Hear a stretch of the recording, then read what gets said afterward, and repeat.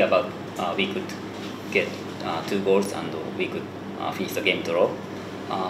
Of course, we conceded two goals, so I think that is because the Tampines is, is a very good team. But we could also show our offensive football by getting two goals. Of course, we could have scored more goals, and as we are doing the very offensive football and we are creating many chances in uh, in every game. So that's why now we are in the uh, good position in the table. But uh, as for today's performance, uh, I'm, satisfied for the result. The good thing that they did was they brought in the two subs, which troubled us a lot.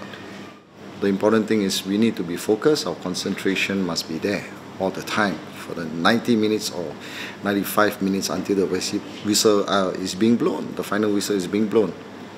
This is what they must understand, this is what they must do.